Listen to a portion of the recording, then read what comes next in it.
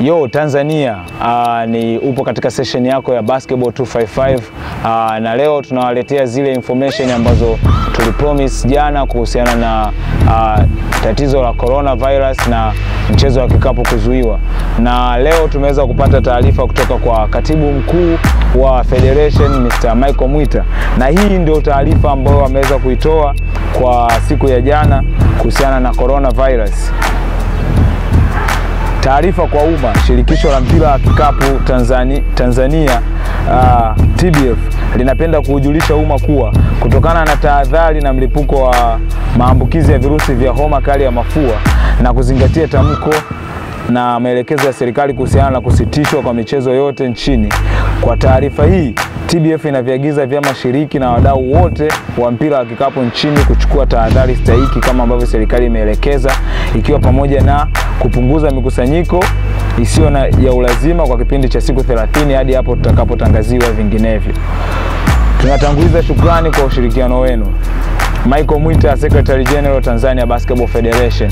Na hiyo ndo taarifa ambayo imetoka kwa uh, katibu mkuu wa Federation Mr. Michael Mwita kwa vyama vyote shiriki ikihusisha BD uh, Basketball Dar es Salaam ambao ndo ligi ya inachezwa na vyama vingine vyote kuhusiana mikoani huko.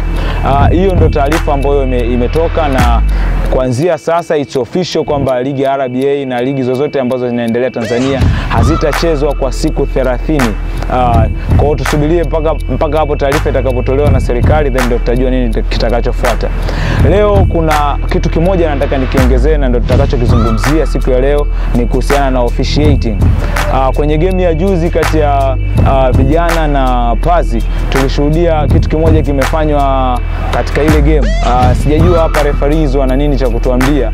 Mm, maybe tukishaionyesha hii scenario then watatuelezea kwamba referee alikuwa amepitiwa au alifanya makusudi kutokana na game situation. Uh, hii hapo follow inachezwa na angalia kinachotendeka, referee anaangalia lakini anapeta mpira na anaonyesha katika direction nyingine. Wewe unaioneje katika hili? Tatizo lipo kwa refari au tatizo lipo kwa wachezaji jinsi ambavyo wanacheza game, game yao? Asante sana, tutaonana na wewe tena siku ya kesho. Thank you.